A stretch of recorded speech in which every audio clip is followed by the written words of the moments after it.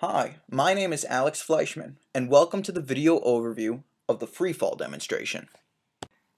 Well, let's start with the problem. Five students are trying to figure out the final velocity of a baseball before it hits the ground when dropped directly 3 meters above the ground.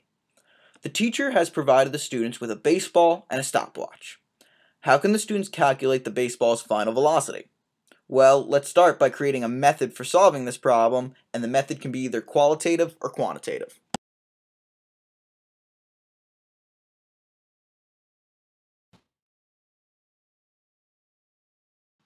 Alright, let's work through a simple algebraic derivation. If the baseball is not accelerating, how can we relate the final velocity of the baseball to the initial velocity of the baseball? Note, the baseball does not change its direction of motion we could state that the final velocity of the baseball is equal to the initial velocity of the baseball. So if we look at the equation above, the units are in meters per second. If the baseball is accelerating, how can we mathematically relate acceleration in units of meters per second? Well, we could state that meters per second is actually equal to acceleration times time. This is because meters per second squared multiplied by seconds gives us meters per second. So the product of acceleration and time is the final velocity of an object accelerating over time t from an initial velocity of 0 meters per second.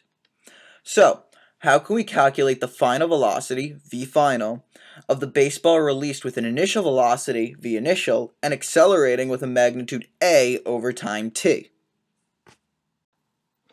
Well, we could state that the final velocity is equal to the initial velocity plus the acceleration of the baseball times time. This equation is known as the first kinematics equation. So let's return back to the given problem. The baseball is dropped from a set height. Therefore, the ball is released from rest. So V initial is equal to 0 meters per second. So that means once released, the baseball is in free fall. Therefore, the acceleration of the baseball is equal to the acceleration due to gravity. So A is equal to negative 9.8 meters per second squared, which is equal to g. So if the baseball is released from rest at a set height, how can we calculate the final velocity of a baseball as a function of time? Well, we could state that the final velocity is equal to g times t.